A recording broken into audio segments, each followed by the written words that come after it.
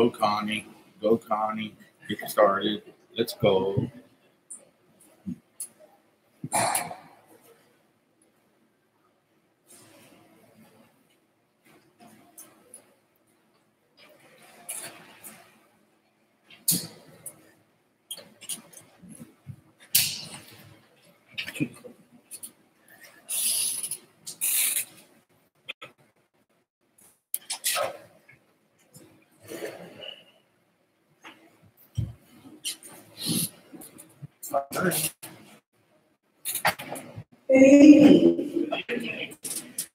Happy Feast of St. Francis. We gather to worship this evening as we honor our Holy Father, St. Francis. As we commemorate his life and many gifts to us. Let us also open our hearts to Christ at the center of our lives as St. Francis of Assisi. Please now stand and face the procession as we sing together the gathering hymn. All creatures are God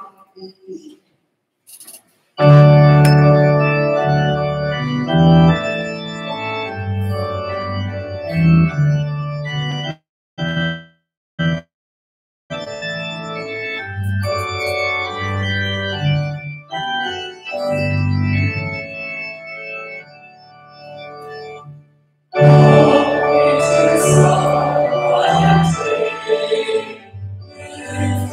feet. The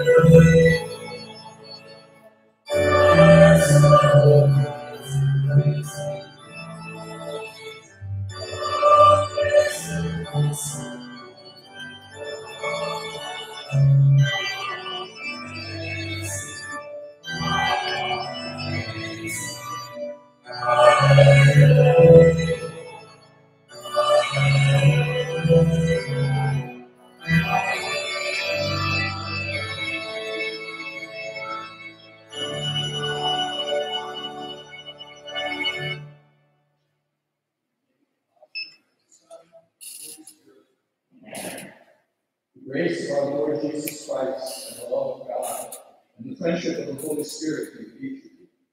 and your spirit.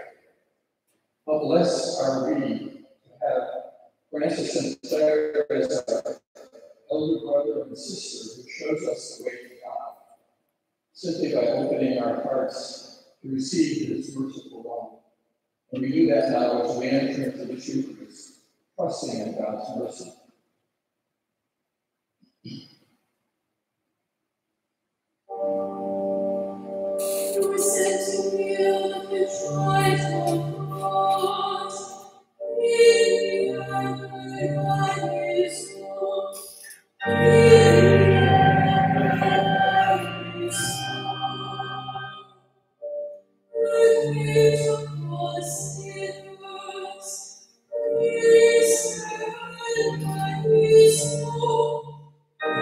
Jesus.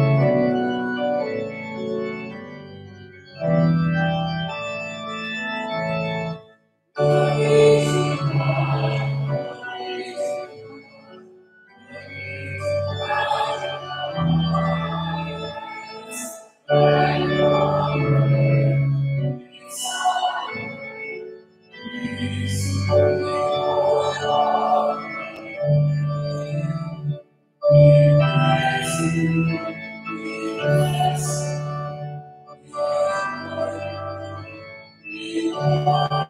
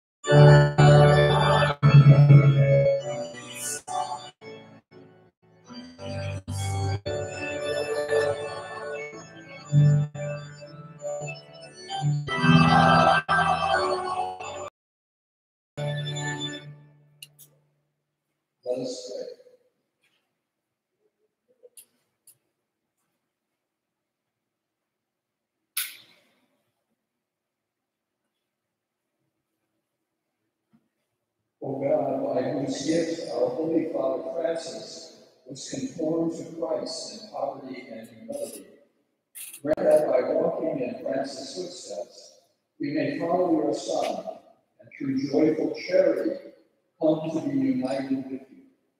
Through our Lord Jesus Christ, your Son, who lives and reigns with you in the unity of the Holy Spirit, God forever and ever. Amen.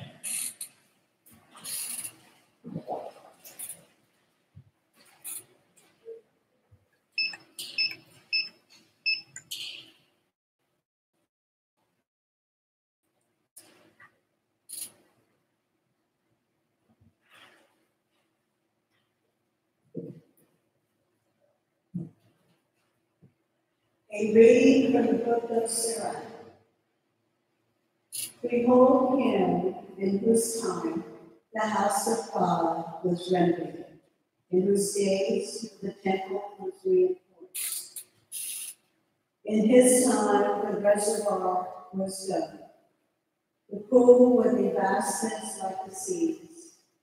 He protected his people against brigands and strengthened his city against the enemy.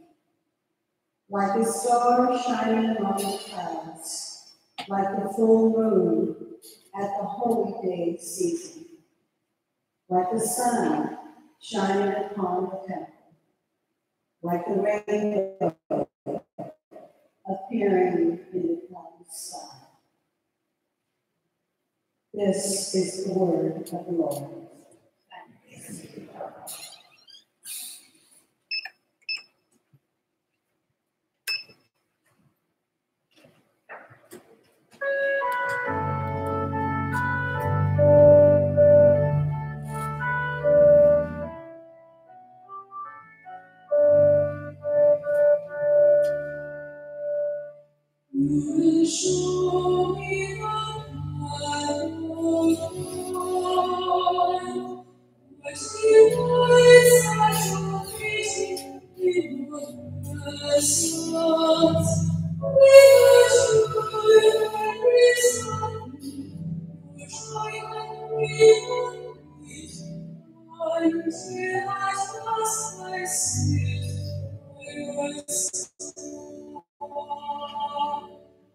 What you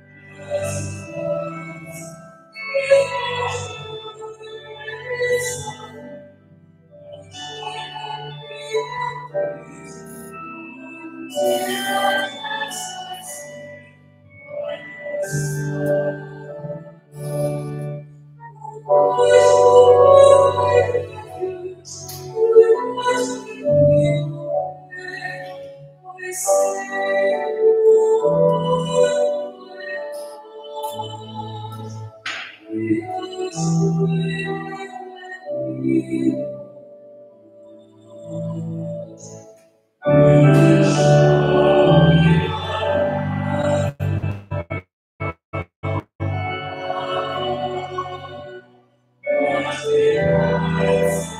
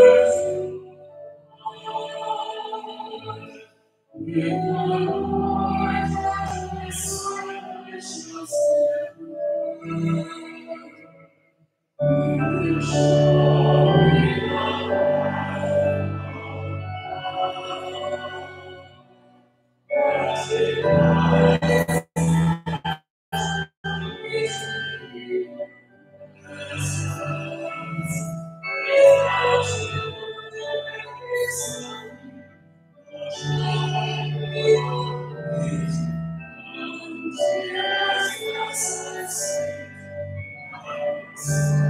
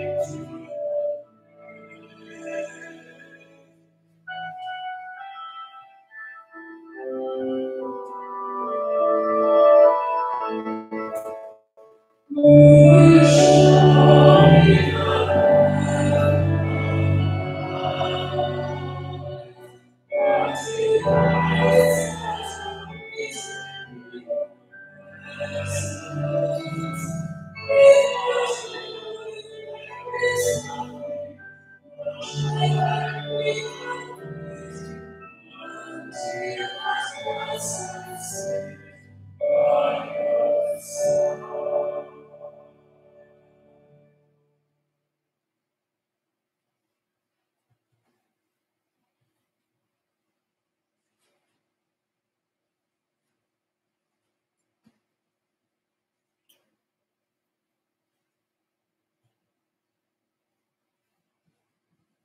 reading from the letter of St. Paul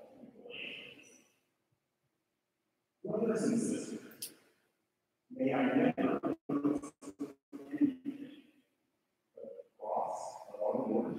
Christ. Through it, the world has been crucified to me, and I to the world. It means nothing whether one is circumcised or not. All that matters is that one is created anew. Peace and mercy on all who follow this rule of life and on the Israel of God. Henceforth, let no one trouble me, for I bear the brand marks of Jesus in my body. Sisters and brothers, may the favor of our Lord Jesus Christ be with your spirit. Amen. The word of the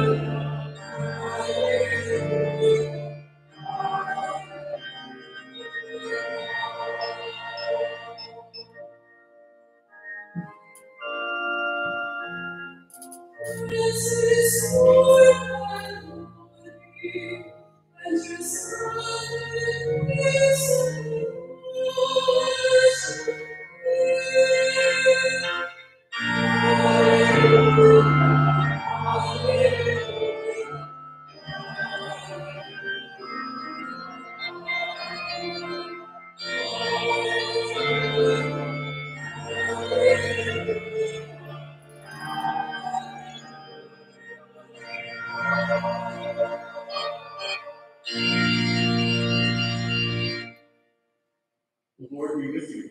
And with your spirit. This is a reading from the Holy Gospel according to Matthew. Lord is faithful.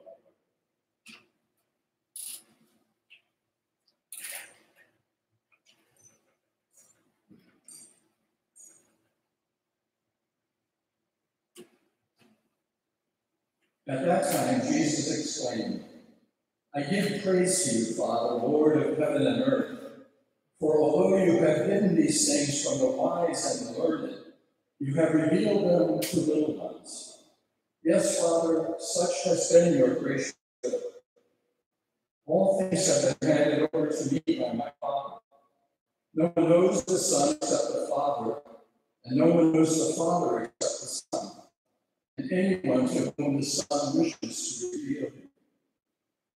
Come to me, all you who labor and are burdened, and I will give you rest. Take my yoke upon you and learn from me, for I am meek and humble of heart, and you will find rest for yourselves. For my yoke is easy and my burden light. The Gospel of the Lord. To you.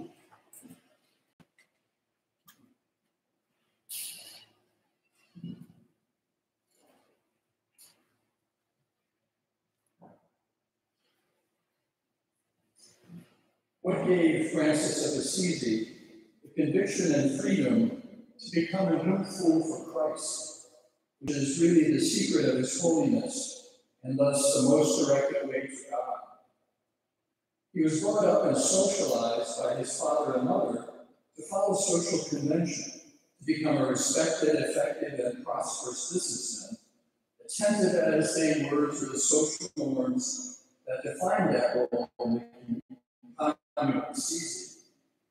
Francis himself was willing to follow their lead, at least to a certain point, but there was also something in his nature that bristled at the constraints of convention. He loved life, and he loved to party, and he loved to enjoy himself with friends. Thomas of Celano described Francis as a zealous imitator of foolishness. And Celano did not intend that as a compliment. But if we allow ourselves to go there, isn't there deep down in each one of us a, kind of nagging desire to be zealous imitators of foolishness, just like Francis? But for some reason, we resist it and prefer to color inside the box, as the saying goes. Maybe that is because we know that while foolishness, foolishness might be a marvelously free gift, it comes at great cost, which we can also see in Francis' life. The freedom and conviction, I think, that allowed Francis to unleash God's natural grace of foolishness grew in tandem with his recognition of God's real presence in his life, especially in his relationships with others and with creation itself. We know the experiences that gradually opened Francis to this divine presence in the world.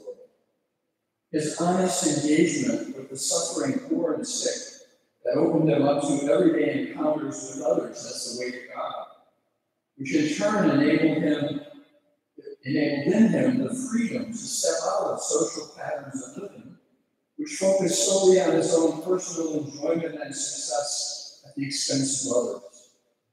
All of which ignited within him the courage to listen to the word of the cross, which promised communion with God and others in creation in the house which God built for everyone to enjoy. At the heart of Francis' zealous imitation of foolishness lies the discovery of the foolishness of God in Jesus Christ, which is the incarnation. This is the key to Francis' freedom, it seems. And he sums it up so well in a simple sentence. Because Jesus was born for us, we knew we would be saved. Because he was born for us, we knew we would be saved. We are saved because God came to us in the human flesh of Jesus. We are saved because God was born as one of us to be with us. Salvation is less about God's desire to be with us, to be in communion with us just as we are. And when Francis came to realize this simply a profound truth, after many years of struggle and trying to understand God and being a good Christian, he was able to stop trying to master his own life in order to simply surrender to the always already there-ness of God's love.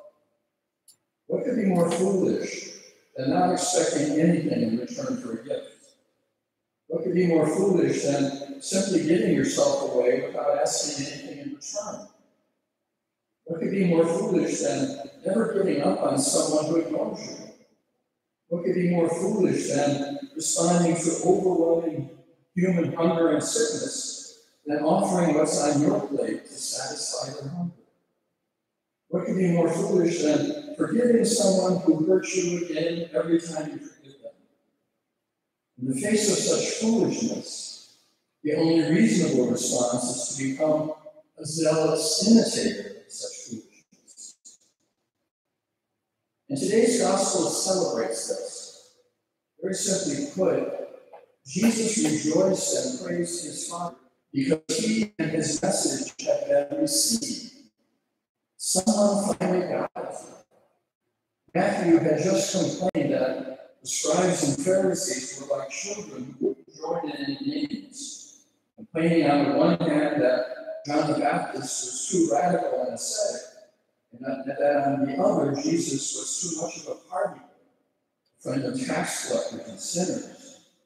But it was these people that got us, the little ones, that is, the childlike, the poor, the tax collectors, and the sinners. They were the ones who welcomed and received Jesus Christ, the foolish wisdom of God. Recognizing God's foolishness Jesus thus becomes the key that opens God's reign to us. The reality that here we are already living in the new creation God intended. Francis understood that we didn't have to wait for God to do something more, or that we had to somehow make ourselves more pleasing to God.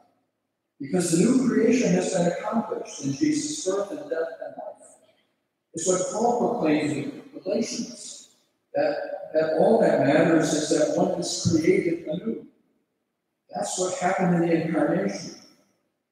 But giving God's self in the incarnation was just the beginning of the end, because to give oneself away implies holding nothing back until there's nothing more to give, as Jesus did on the cross. As Paul proclaimed, circumcision or uncircumcision, religious practices that identify by separating and creating different separate worlds, like that of the Jewish world and the Gentile world. None of this matters anymore because those religious worlds were dissolved in the incarnation. There's only one new world, new creation. And Paul proclaimed that he had been crucified to the world. He was proclaiming that his world, the Jewish practice, dependent on the law, had been put to death. He now lived as part of the new creation of Christ. When Francis embraced rich and poor at the same table, when he preached to both popes and birds, when he stepped into the camp of the Sultan, in each of these actions, he was being crucified to his world. The world of the merchant, the world of power at the expense of others, the world of the exclusive club, the world of privilege and plenty. And he entered into the world of the Father of all good gifts, the world of creation, the world of God's abundance, the world of Jesus Christ crucified, God's foolishness. This is why he and Clare and their brothers and sisters appeared to their contemporaries as people from a different world. Again, Shalom. Francis simply got it. He embraced the gift of God's foolishness. He accepted God at God's word and lived in grace and peace. He didn't spend his life trying to earn grace and to achieve peace through his own efforts, because it was already real in Jesus. He didn't spend his life trying to prove himself worthy of God's foolishness. Rather, he himself became a new fool of God's peace and grace. And being a new fool was the meaning through which he renewed the church and society. Francis repaired God's house, like a star shining among the clouds, like a rainbow appearing in a cloudy sky as Sirach proclaimed. And Francis finally embraced God's foolishness when he was able to live the meaning of because he was born for us, we knew we would be saved. What did he do? He threw a party. He asked his brothers that on Christmas Day, they put food for the birds of the sky on the roadways so that they might find food. And the domestic animals should be given an extra portion so that they too could celebrate. And that the poor should be fed until they were filled, because they of all people could truly appreciate God's foolish, extravagant, gracious, and caring love, which makes us whole. What a foolish way to celebrate, isn't it? So we who celebrate the memory of Francis today, we live in the worlds of mission statements and mission effectiveness. The church broken into so many different worlds of ideology and practice, polarized and frozen in positions of us against them. We do well to remember the image of Francis that this feast plays before us. Francis, the poor little one, the person who got the meaning of salvation, the one who is able to receive what Jesus came to give, brotherhood and sisterhood, peace in God's world, joy in simply being himself, abundance in not claiming anything as his own, and mercy in God's foolish, loving embrace of everything and everyone that God made. Invites us to recognize what we celebrate in this Eucharist. God's foolish, self-giving love made real and wine. Signs of God's abundance and availability for all.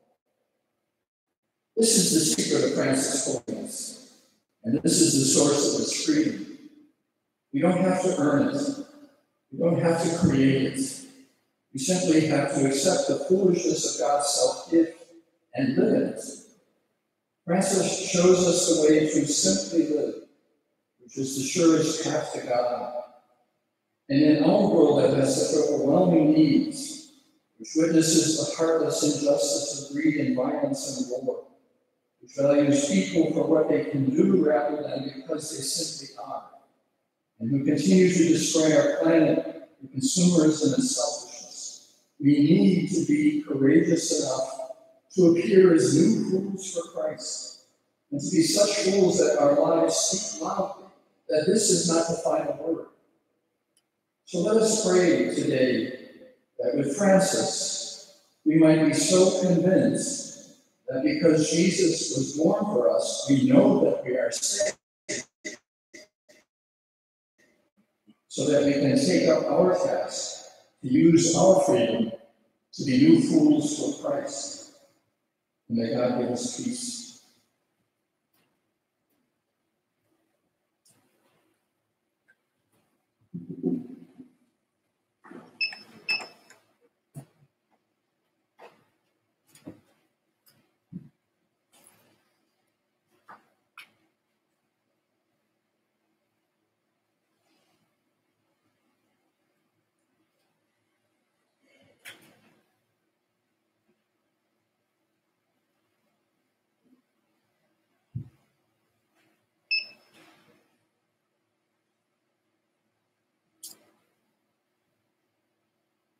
On this day, the feast of Francis the Peacemaker, we're going to bless all the branches, will be distributed. Remind us of our call to be new fools for God. During the blessing and distribution of the olive branches, we'll sing the prayer of St. Francis, found your list at number 528. Number 528. And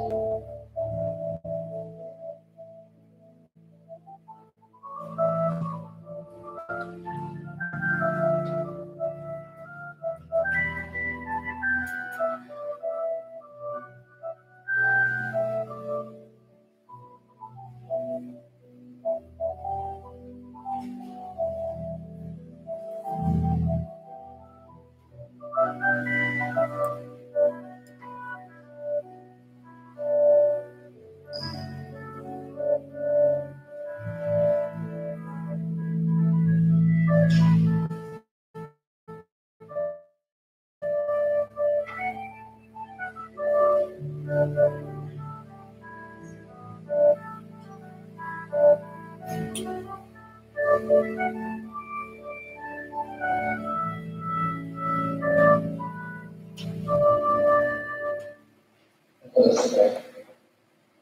Loving God, you have given us of Francis of Assisi, a man of peace, joy, and. As we remember him on this special day, we ask you to bless these branches, traditional of peace. May they remind us that we too are to become instruments of God's peace.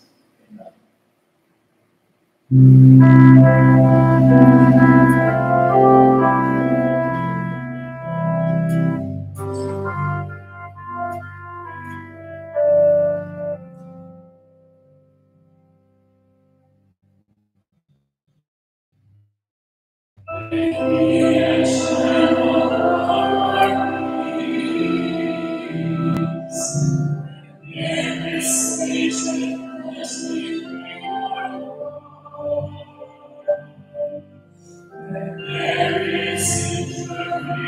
Oh,